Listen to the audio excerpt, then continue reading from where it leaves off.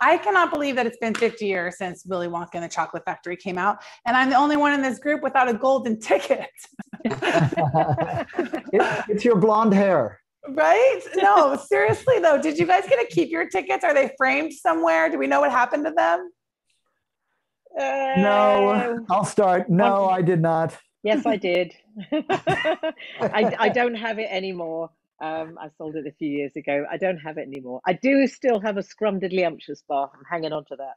I love it. Well, anniversaries are so fun. They're such fun markers because you know we're able to reunite the cast, and you all went different directions. But it's fun to have this you know special bond. And on this version of the um, movie that's coming out, we have commentary where we get to hear from you guys and we get to hear about your experiences. So tell us a little bit about what we can expect there. Warner Brothers was kind enough to bring me over to the uh, uh, to the studio um, in Burbank I was able to see what they've done with it in terms of the resolution and in terms of the color and the sound.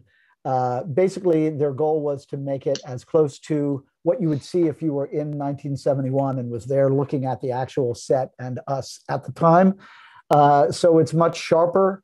Uh, the colors are truer and it looks amazing. Uh, as you watch it, you know, I'm afraid I'm going to take too much time, but the thing that struck me is because the resolution is sharper and the colors are truer, it created almost a 3D effect where you felt like you were looking at a 3D movie instead of a 2D movie.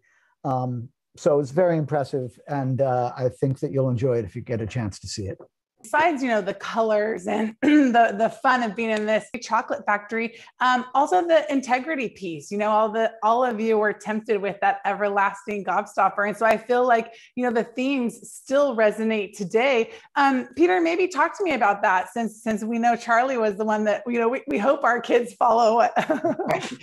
Exactly. And and i mean there's still there's some great messages in in this film you know that's kind of the uh, parenting guide of how to raise your kids what to do and what not to do. So it kind of lays it all out there in an hour and a half. So um, i think all of us have have used the different examples of the children who fell you know into harm's way at the chocolate factory um, when we uh, raised our own children. So no idea all aboard, everybody. Uh, ladies first, and that means Veruca. If she's a lady, I'm a vermicious knid. She's such a bratty individual, but that's the way she's been raised. You know, she's allowed. She's allowed to be that.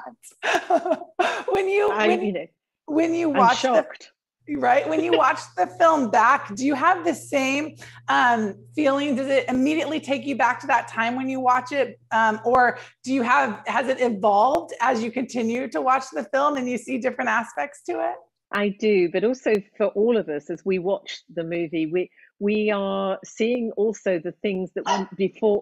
So it takes me back to um, you know what was going on before the shot what was going on after the shot um, so it, it's it's that nostalgia for me of, of uh, remembering the little. So to me, it's like watching a home movie. You know, this is what happened before, and this is what happened afterwards.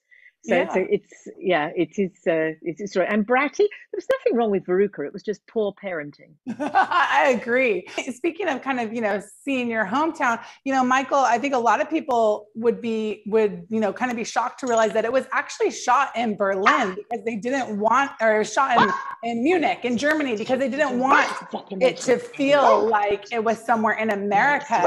Um, you being from Germany, what was that like, and what does that continue to be like when fans find out that nugget? Yes, I live in Germany since the film was done, since my birth uh, um, date, and uh, still living here. And of course, I'm always enjoying to take a trip to the US and uh, do some conventions. Take a look, and you'll see into your imagination